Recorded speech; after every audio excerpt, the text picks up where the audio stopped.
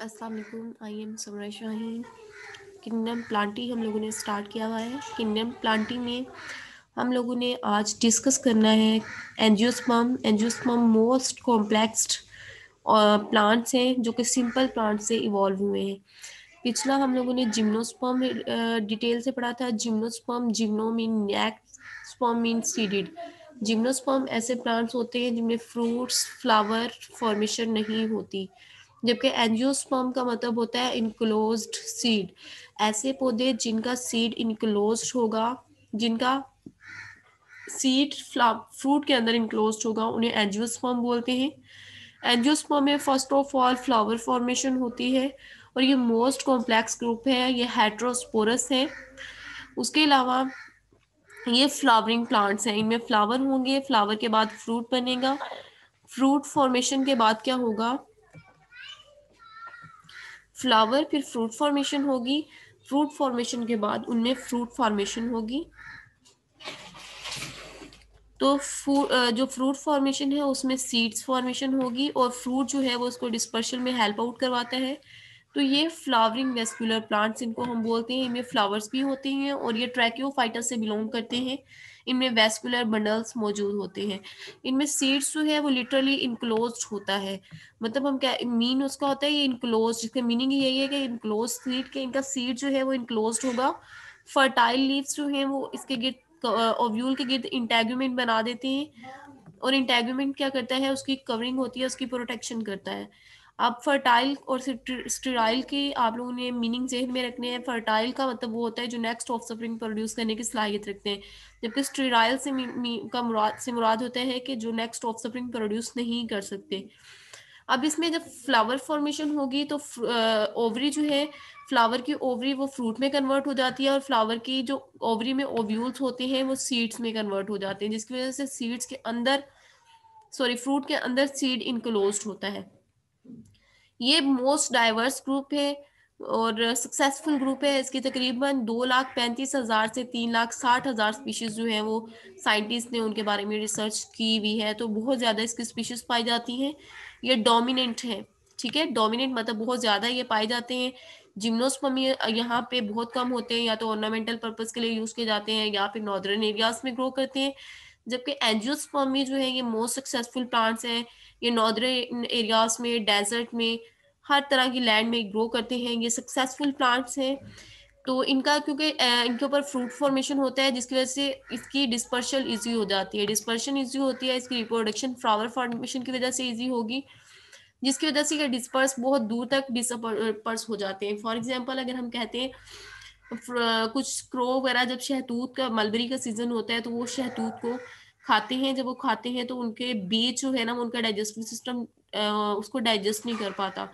वो बीज उनके फीसिस में वैसे ही मौजूद रहते हैं। जब वो बर्ड्स फ्लाई करके किसी दूसरी जगह पे पहुँचते हैं तो वहाँ जाके जब वो फीसिस क्रिएट करते हैं तो उस एक्सट्रेशन में वो सीड्स भी मौजूद होते हैं।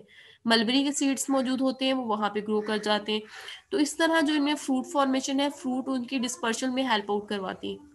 उसके अलावा ये हेट्रोस्पोरस होते हैं आर्टोट्रॉफिक होते हैं प्लांट तकरीबन सारे ही आर्टोट्रॉफिक होते हैं।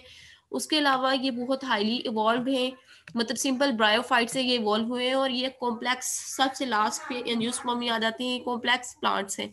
ये heteromorphic alternation of generation show करते हैं हेट्रो मीन डिफरेंट मॉर्फिक का मतलब होता है शेप मतलब इसमें दो तरह के स्पोर्ट्स बनते हैं माइक्रोस्पोर और मेगा मेगास्पोर्स तो ये heteromorphic alternation of generation show करते हैं। इसमें फ्रूट फ्लावर फॉर्मेशन होती है फ्लावर से फ्रूट बनते हैं और फ्रूट से सीड बनते हैं। ये है एंजियोस्पर्म की करेक्टरिस्टिक्स मतलब इसमें फ्लावर फॉर्मेशन होगी फ्रूट फॉर्मेशन होगी और सीड फॉर्मेशन होगी। अब लाइफ साइकिल देखते हैं तो ये डिप्लाइड स्पोरोफाइट प्रोड्यूस करते हैं। इसकी जो प्लांट बॉडी है, तमाम सेल्स में टू एन नंबर क्रोमोसोम्स होते हैं। स्टेम रूट और लीव्स को हम बोलते हैं, ये इसकी स्पोरोफाइट बॉडी है।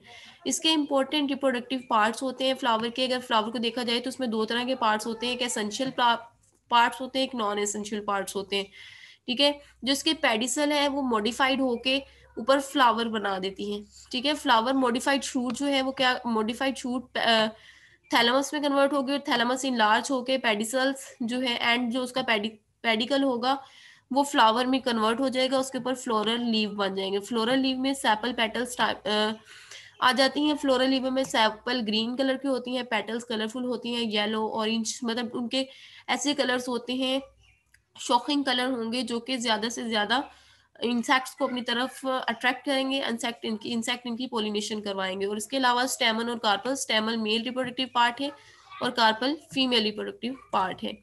अब नॉन एसेंशियल पार्ट्स ऐसे पार्ट्स जो रिप्रोडक्शन में हेल्प आउट नहीं करते। नॉट एसेंशियल रोल इन जो रिप्रोडक्शन में हेल्प आउट नहीं करते, जैसा कि सैपल और पेटल सैपल और पेटल का काम होता है इंटरनल पार्ट की सिर्फ़ प्रोटेक्शन करते हैं। ये वाले पार्ट्स की सैपल या ग्रीन पत्तियाँ पेटल्स कलरफुल पत्तियाँ। जबकि उसके अलावा ये क्या करवाती हैं इसकी प्रोटेक्शन करेंगी। नंबर टू पे ये पोलिनेशन में हेल्प आउट करवाती हैं। जितनी ये कलरफुल होंगी पेटल्स उतने ज़्यादा इंसेक्ट इसकी तरफ़ अट्रैक्ट होंगे। पोलिनेशन करवाएँगे पोलिनेशन के बाद सीड फॉर्मेशन होगी और फ्रूट फॉर्मेशन होगी। एसेंशियल पार्ट्स वो होते हैं जो पोलिनेशन में हेल्प आउट करवाते हैं। उसके साथ साथ रिप्रोडक्शन के लिए बहुत ज़्यादा इंपॉर्टेंट होते हैं। इनके बगैर रिप्रोडक्शन नहीं होगी। रिप्रोडक्शन में डायरेक्टली टेक पार्ट करते हैं। उन्हें एसेंशियल पार्ट्स बोलते हैं, जैसे कि कार्पल और और stamen carpel female reproductive part है स्टेमन मेल रिप्रोडक्टिव पार्ट है। इसके ऊपर एंथर्स बनेंगे। स्टेमन के एंथर्स के ऊपर पोलन ग्रेन बनेंगे और पोलन ग्रेन स्टिग्मा से, स्टाइल से होते हुए, ये ओवरी का ऊपर वाला पार्ट जो ब्रॉड है, इसको हम बोलते हैं, ये स्टिग्मा है, ये नेक इसकी हम बोलेंगे स्टाइल है, और इसका जो ब्रॉडर लोअर पार्ट है, इसको ओवरी बोलते हैं। ओवरी में व्यूल फॉर्मेशन होती है एंथर फॉर्मेशन एंथर के ऊपर पोलन ग्रेन बनेंगे, और पोलन ग्रेन ट्रांसफ़र होंगे स्टिग्मा के थ्रू स्टाइल और फिर ओवरी के अंदर। ठीक है? ओवरी में ट्रांसफ़र होंगे, वहाँ पे ओव्यूल से फर्टिलाइजेशन होगी एंडोस्पम बनेगा, और फिर उससे एम्ब्रियो बनेगा। अब कार्पल क्या है? ये फीमेल रिप्रोडक्टिव पार्ट है, इसमें स्टिग्मा स्टाइल ओवरी होती है। ये वाला कार्पल ये फीमेल रिप्रोडक्टिव पार्ट है स्टिग्मा दरमियान वाला स्टाइल और लोअर पार्ट को हम ओवरी बोलते हैं। इसी तरह जो मेल रिप्रोडक्टिव पार्ट है, इसको हम स्टेमन का नाम देते हैं।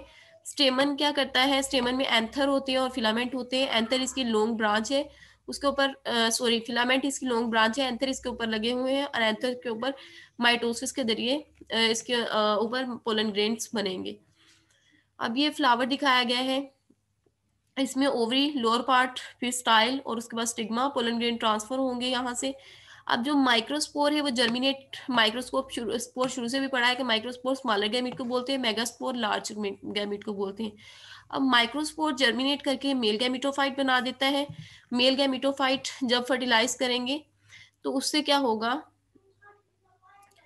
वो male gametophyte pollen male pollen grain बना देंगे और उसके साथ साथ वो क्या करवाएँगे? पोलिनेशन करवाएँगे। देखिए माइक्रोस्पोर जर्मिनेट किया, उन्होंने मेल गैमिटोफाइट बना दिया और मेल गैमिटोफाइट ने पोलन बना दिया। अब कार्पल जो है, इसका बेसल जो पार्ट है लोअर पार्ट है, उसमें उसे ओवरी बोलते हैं और इसके ऊपर जो ब्रॉडर पार्ट है, उसे स्टिग्मा का नाम देते हैं और नेक इसकी स्टाइल कहलाती है। अब ओवरी में बहुत सारे ओव्यूल्स होते हैं ओव्यूल इनकी फर्टिलाइजेशन के बाद वो सीड में कन्वर्ट हो जाते हैं। ओव्यूल की डेफिनेशन पहले भी पढ़ी, कि इंटैक्यूमेंट इन डिहिसेंट कवरिंग को हम ओव्यूल का नाम देते हैं। अब मेल गेमिटोफाइट में क्या है? एक सेल होता है न्यूक्लियस होता है, वो डिवाइड होकर दो में कन्वर्ट हो गया। दो में जब कन्वर्ट हुआ तो उन्होंने ट्यूब न्यूक्लियस डेवलप करना शुरू कर दी। इसकी लॉन्ग ट्यूब कन्वर्ट बनाना शुरू कर दी, जो पोलन ओवरी में ग्रो करेगी स्टाइल के थ्रू होती हुई ओवरी में ये ट्रांसफ़र होगी। तो ये क्या करवाते हैं? पोलिनेशन के बाद जो पोलिनेशन के बाद जो मेल गैमिट है पोलन ग्रेन वो क्या होगा? वो पोलन ट्यूब बनाना शुरू कर देगा। ट्यूब न्यूक्लियस इसमें दोनों न्यूक्लियस जो है वो मूव करेंगे ट्यूब बन जाएगी। अब माइक्रोस्पोर जो है वो बनते हैं माइटोटिक डिवीज़न से। यहाँ पे एक था, इसकी माइटोसिस हुई, एक न्यूक्लियस की, दो न्यूक्लियस बन गए। ठीक है? दो न्यूक्लियस बन गए, दोनों वन एन है, ये दोनों क्या करवाएँगे? ट्यूब न्यूक्लियस बनाएँगे, इसमें दो न्यूक्लियस मौजूद होते हैं, इसको मेल गैमिटोफाइट का नाम देते हैं।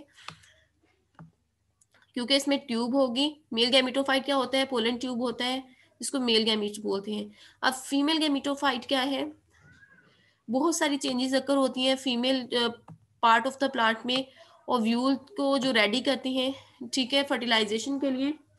अब फीमेल की जो फीमेल फीमेल पार्ट में सेवन सेल्स पड़े हुए होते हैं। एक एग सेल एक पोलर सेल होता है, एक एग सेल होता है। बाकी जो सेल्स हैं, वो उनके, उनका इसमें रिप्रोडक्शन में रोल नहीं होता मेजर रोल पोलर बॉडीज का और एग सेल का होता है। अब megaspore mother megaspore within the ovule develop into female gametophyte microspore male gametophyte में कन्वर्ट होगा और मेगास्पोर फीमेल गैमिटोफाइट में कन्वर्ट होता है। फीमेल सेल्स में फीमेल गैमिट में सेवन सेल्स होते हैं। ये आपको नज़र आ रहे हैं सेवन सेल्स होते हैं। इनमें से एक एग सेल होता है, जिसको हम ओस्पोर या ओवम का नाम देते हैं। ओवोस्पोर की जब फर्टिलाइजेशन हो जाती है तो ये ओवोस्फेयर में कन्वर्ट हो जाता है। फर्टिलाइजेशन से पहले इसको एग ओवोस्फेयर या उवम बोलेंगे। फर्टिलाइजेशन के बाद ये ओवोस्पोर में कन्वर्ट हो जाता है। जबकि इसमें टू एन नंबर है, दो टू एन नंबर है, इसमें वन एन है। एक क्रोमोसोम है सब में और इसमें दो क्रोमोसोम्स मौजूद हैं।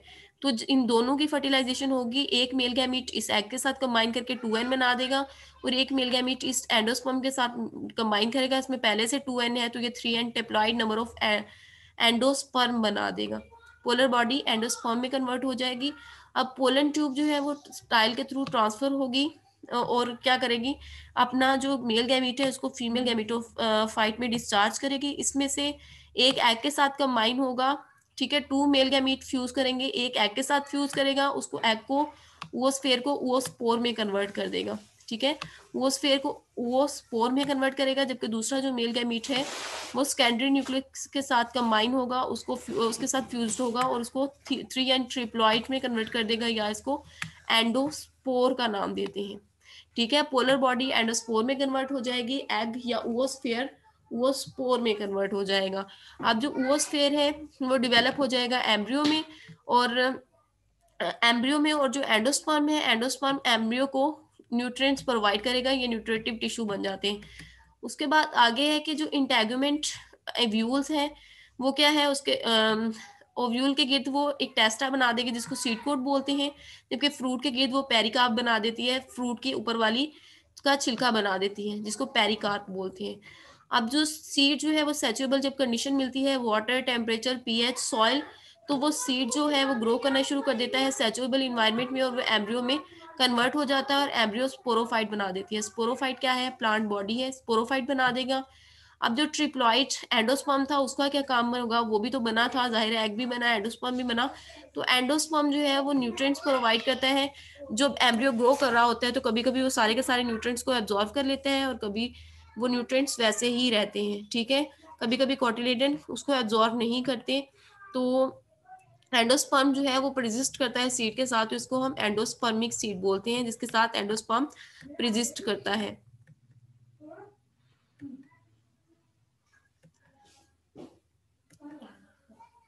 अब डबल फर्टिलाइजेशन होती है, जैसे कि पहले हमने कहा कि एक मेल गैमीट एग के साथ कंबाइन होके, वो फेयर को, वो स्पोर में कन्वर्ट करता है एग को वो फेयर में कन्वर्ट करता है दूसरा मेल गैमीट पोलर बॉडी के साथ कंबाइन होके उसको थ्री एन में एंडोस्पर्म में कन्वर्ट करता है।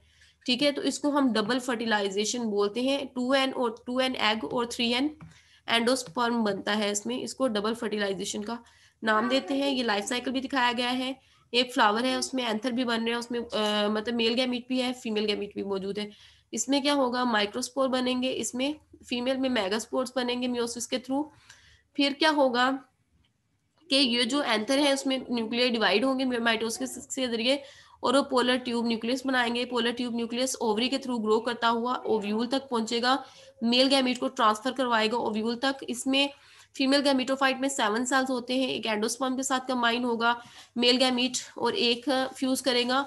और एक एग के साथ फ्यूज करेगा। जो एग के साथ फ्यूज करेगा, वो टू नंबर प्रोड्यूस करवाएगा डिप्लॉइड नंबर और जो एंडोस्पर्म के साथ कंबाइन करेगा, वो उसको पोलर बॉडी के साथ कंबाइन करके उसको एंडोस्पर्म में कन्वर्ट कर देगा, उसमें थ्री एन नंबर्स होंगे।